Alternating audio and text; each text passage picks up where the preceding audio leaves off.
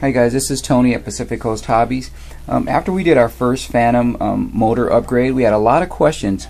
The T-Motor company, what they don't do is they don't color the wires like the stock DJI motors are. So I've had a lot of people call back, even my buddy Geir from Norway. What's happening, brother? Um, I want to show you what you're going to need to do. It's going to be a little bit of trial and error. You're going to install the T-motor. Now this is the black one, but normally you use the white one, the white T-motor. You would install it in, and your three soldering pods right here.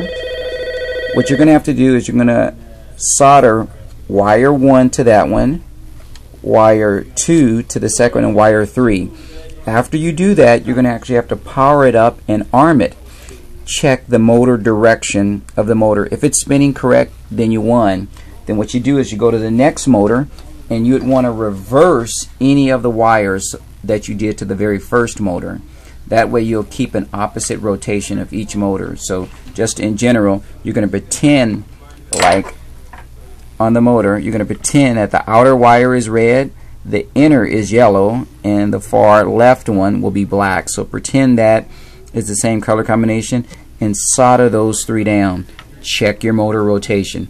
If it's spinning in the opposite direction, then what you want to do is just unsolder 1 and 2 and switch those and solder them back. Then that'll reverse the rotation of the motor. That's how you change the direction of any brushless motor by switching two of any of the wires. If you have any more questions, just let us know and drop us an email. Thanks.